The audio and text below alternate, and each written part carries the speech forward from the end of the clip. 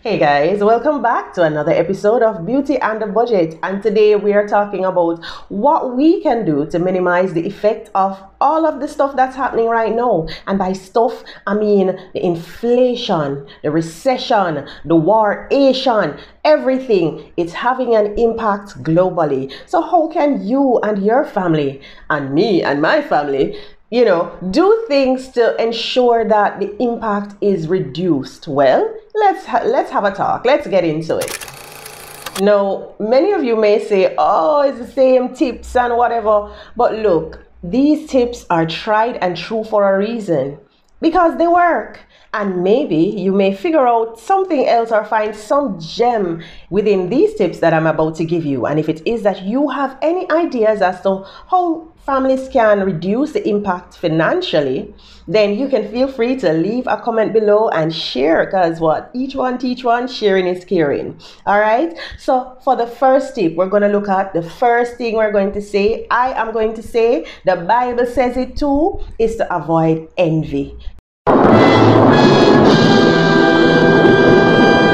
Yes, it don't make no sense. You're sitting down and you're bemoaning your situation, and then you're gonna be looking over at that person and this person, and you know, being envious of what they have because each person's situation is different. And the truth is, you nor I don't know what they did to get the, the, things that they have or acquire their material resources. So the first thing we're going to do, well, first thing we're going to do is we're going to cut out any negative mindset because if you start with a negative mindset, it means that you're starting off on a bad foot. Remember, you are doing this for you and your family, and you want to see how it is that you and your family right, can withstand the economic pressures that are happening now. So it don't make no sense that you're looking over at another family and looking at what they have and envy because when you're envious, it leads to being discontented with what you have. You're not happy again. So if one time you used to like I don't know, stew peas and rice or mackerel and rice.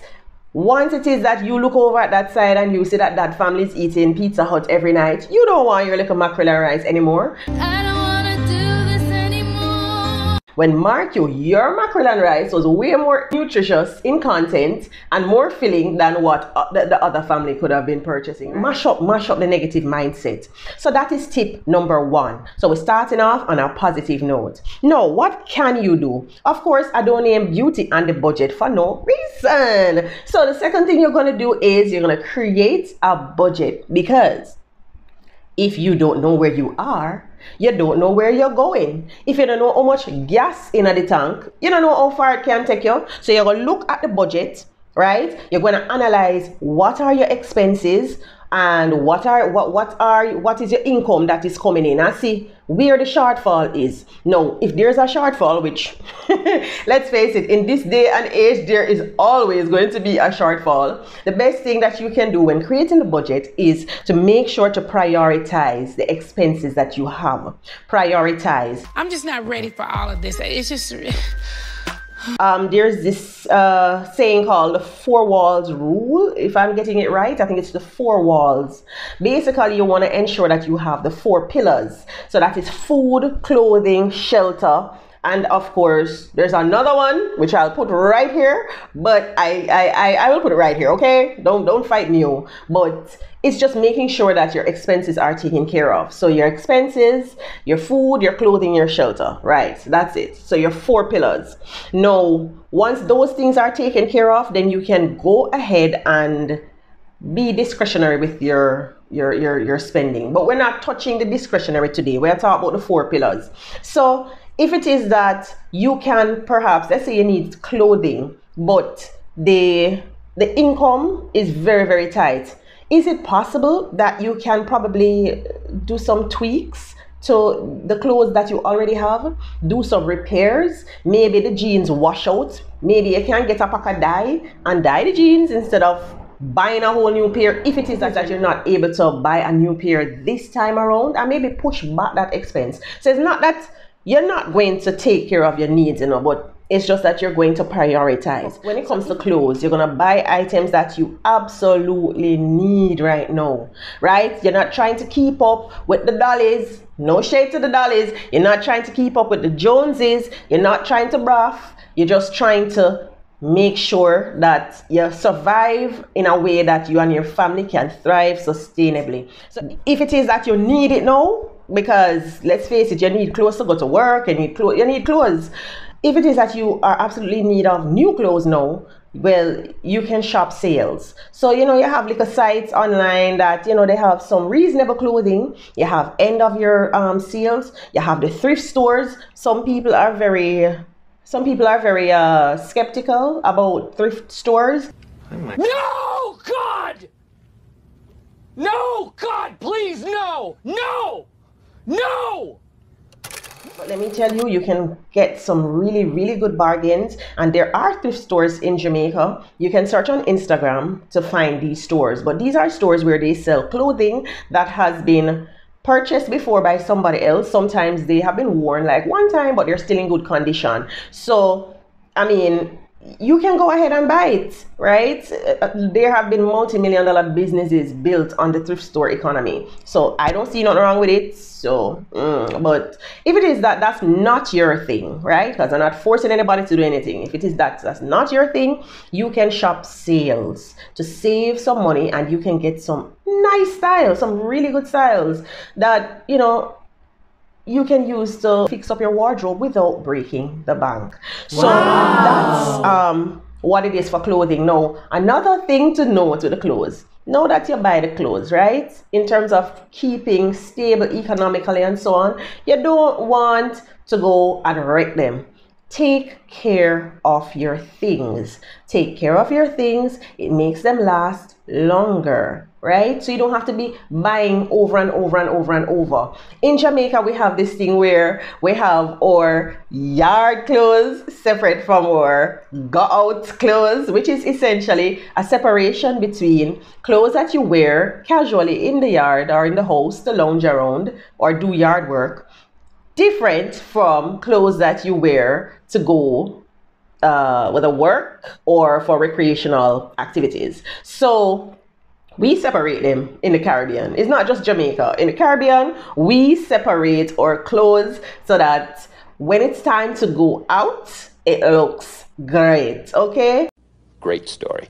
Compelling and rich. We're just saying all of this to say take care of the things that you have, including your clothes, so you don't have to keep buying and buying and buying over and over and over and running out. You have your one pair of shoes, take care of the shoes. Our grandparents did it and they turned out just fine. We can do it too. All right. What we're doing is using lessons from previous uh, events in history. For example, the First World War, first, uh, first and Second World War, the Great Depression, and so on. Look how these people survived. Look how our great grandparents and our grandparents survived and thrived. So we are in that same type of situation or something kind of close to that, which we've never really seen before in our generation. So we can use their trip, their tips to survive and thrive also. Let's talk about utilities. People in Jamaica, we cannot stand two very, very famous companies because of their propensity for bill. Bill out with the light.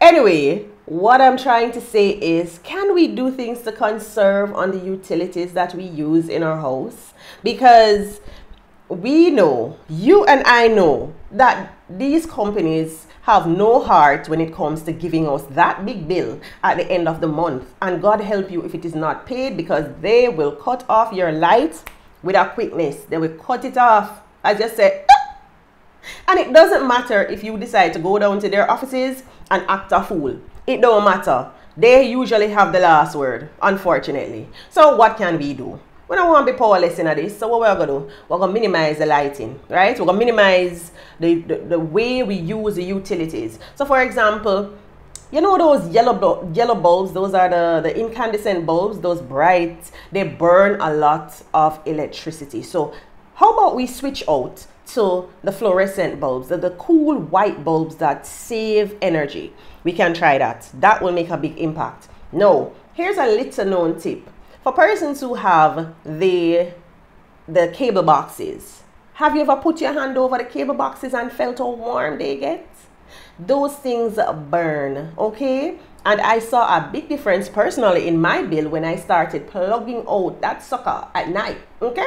Okay. So you can try it. Plug out your utilities that are not in use, which includes heat generating devices such as the cable box, your power strips. Well, I mean, the power strips are negligible, but if you if you're the type of person to leave your phone on the charger, you leave the charger plugged in all day. We don't we don't we're not doing that anymore in 2022. Plug it out, okay? Um, the lamps, plug out the fans, plug up plug out what you're not using. We don't have no money like that to be taken up and given to Mr. and Mrs. Light and Power Company. Okay? It's, it's expensive. We're not doing that because we like food, we like clothes, we like nice things. And if I have to be taking up and giving it to these people, then I can't get them nice things, right? So we're gonna conserve. The same goes for the water, all right? I know we all wanna have a long, luxurious shower, but can we, like, you know, find a happy medium? Tone it down a bit, don't leave the water running while we're actually putting toothpaste on the toothbrush, you know, things like those. Cut the, cut the shower short by a few, you know, seconds. It's not going to kill you, I promise. You are not going to stink. It's called a military shower, okay? It, it, it's, it's a way that you do to minimize the amount of water that you waste. You know, when you have the shower running while you're there soaping up your rag. That's wasting water. So we're not gonna be doing that in 2022. We ain't got the time for none of that. We don't have time for none of that. All right. Entertainment. All right. No. Hmm. I was gonna say Netflix, but all right some of us have netflix netflix accounts. Some of us have um, subscriptions cable subscriptions. We have subscriptions to our favorite tv and streaming services and so on. Things that you know make life a little bit bearable. You come in you can watch a little movie and take your mind off things. Great. Is there any way that we could minimize probably change the existing package that we have. Maybe we have the super duper package. We have 3 million sports channels that we're not going to use because we ain't got all that time. Can we downgrade that package? How about that? Is it that we can, I don't know, do without one of our pro subscriptions this year, this this month? You know, try it out uh, months at a time. We don't want to make them rich. We want to keep a little of our coin in our pocket. So, for example, like a Netflix subscription. So, some of us sign up on Netflix to watch certain series that we feel like we can't do without. Cool. When that series has ended and we done binge watch out the thing, can we close the subscription temporarily till another must have series comes up? Then I will feel like, all right, let's do this. You know, let's let's try stuff like that. You have to be smart with using your coins right? So these paid subscriptions we really need to think about whether we can live without them. The gym subscriptions. I mean i don't have a gym subscription but you know there's free stuff on youtube. You can get a free class on youtube. Maybe you can do that for this month you know instead of going to the gym every month or paying for the subscription and not going to the gym every month you know look at how it is that you are using it. Are you getting a full use out of your subscriptions and and these additional services that you're paying for? If not maybe it's time to let it go like elsa. Okay? Okay. Oh okay. No the next thing we're gonna look at is food. Now me love food. I love food. Everybody knows that i love food. I cannot live without food. Can you live without food? No sir not me. I don't think so. So, how about this? The supply chains are being severely impacted now by the wars in Ukraine and other global conflicts around the world. We're having a lot of issues related to climate change that means that when the crops are supposed to be nice and healthy and flourishing and an abundance of food, there is actually drought, right? In fact, right now, a lot of the world is suffering from famine, which thankfully in the Caribbean, we haven't reached that level yet, thank God. And we want to not take that for granted, right? That is one of the blessings that we have waking up every day and thanking God. At least we can have a tree in our backyard somewhere, okay? But in the meantime, what can we do practically to maximize that benefit? Well, one of the things we can do is plant a garden. Now, you may say, beauty the budget, I don't have no space, I don't have no land space. Look, I don't have land space either. You know, you know what I do? It's called container gardening. Container gardening is where you plant crops, perhaps seasonal or cash crops, in a small container or in a container. So, for example, those five liter empty bottles, those plastic bottles that you would normally toss out, cut them, cut them in half, put some soil in it, plant a seed, my darling, plant a seed, my sister. You will reap, oh, me and my whack Nigerian accent. Being serious, we need to plant. Plant something. Plant something. You will reap. Now in the caribbean in jamaica here one of the crop that you can easily reap and that's nutritious for your family easy to grow withstands everybody with the black thumb then people who can't grow nothing they're very hardy plants is pak choy pak choy callaloo these are sources of nutrients cheap cheap nutrients that we can plant for our family. All it takes is a little tip of water daily and a little container. You can plant your little pak choy in a little um, plastic container and you don't even have to root it out when that thing has come up to fruition. You just clip off the leaves, just like you'd prune a plant, just clip off the leaves, cook those leaves, and leave the roots in the ground to continue growing. So that is how I do my container gardening. So that way I don't have to keep replanting, replanting, replanting. I just go outside, clip off the big leaves when I'm ready to cook, and leave the root in the ground. So things like that. So in your country, or where your area, are there government plans or agricultural plans that help local persons to plant? You know, is there somebody in your neighborhood with a green thumb where you can get a few seedlings? Can you buy a few seedlings? In Jamaica, we have the bauxite industry of Jamaica, and we also have RADA, that is in Kingston, located at Hope Road. That has been a lifesaver for me. I, I love those two places. Why?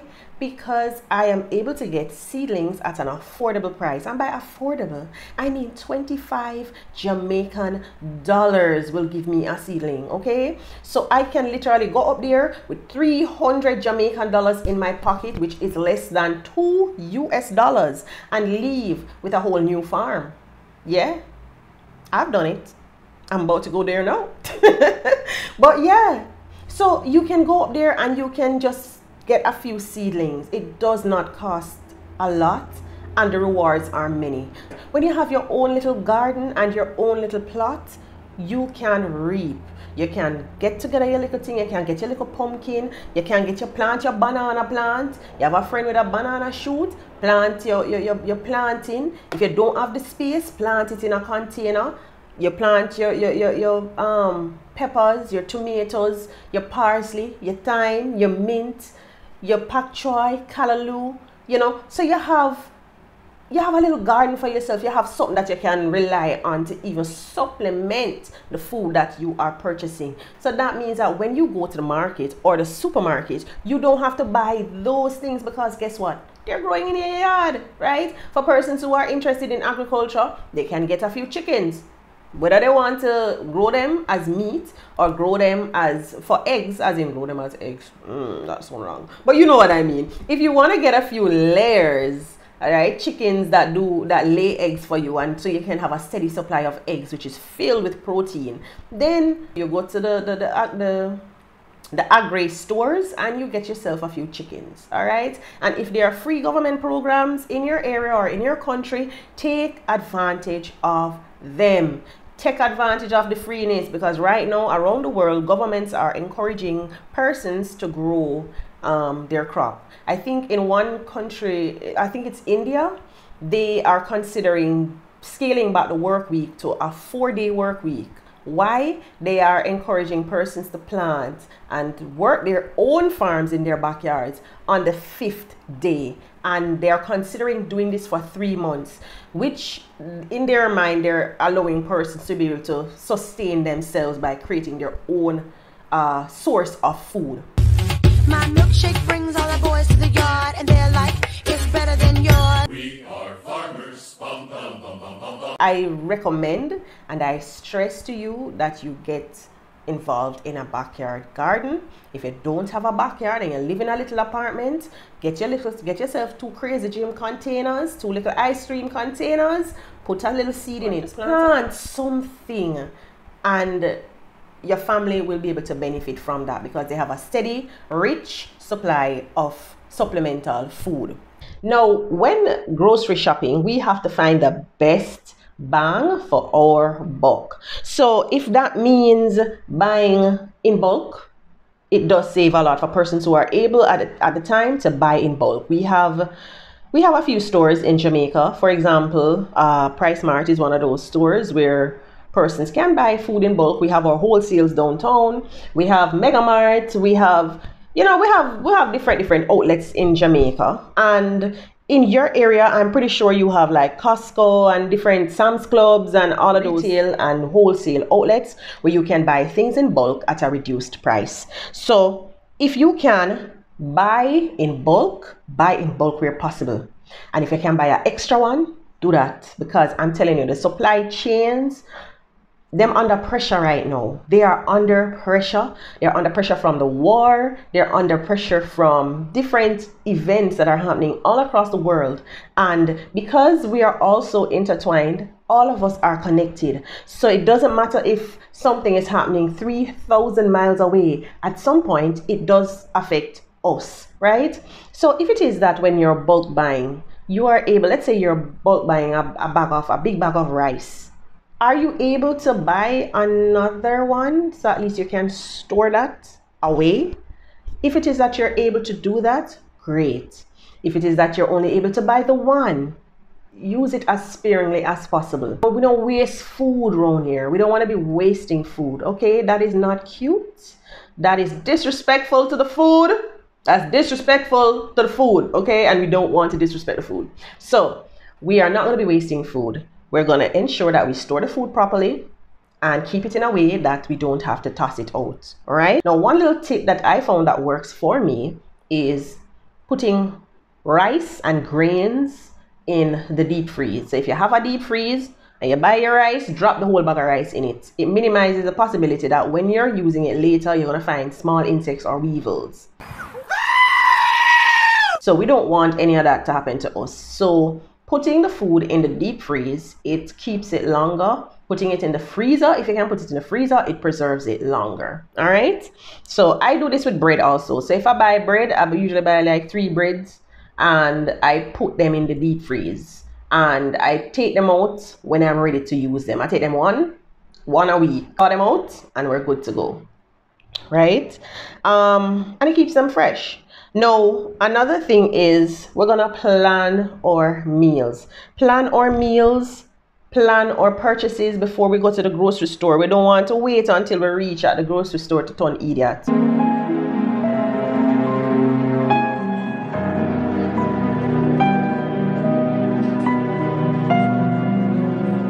Start thinking of random things that weren't or wouldn't have been on our list if we had been prepared.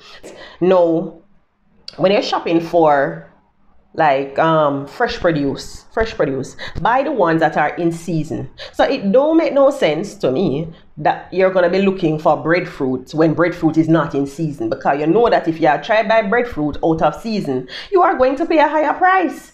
Buy the foods that are in season so that there's a glut on the market at that time. You know that when it's time for apples apples, apples, apples, apples, apples, apples, apples all around. So the prices are lower. Buy it at that time. Don't wait until when apple season done. You, you feel like you have to have apples and you're searching around to get a high price. You don't want that, right? That's the way to go. So it's always best to buy the foods that are in season and work with those.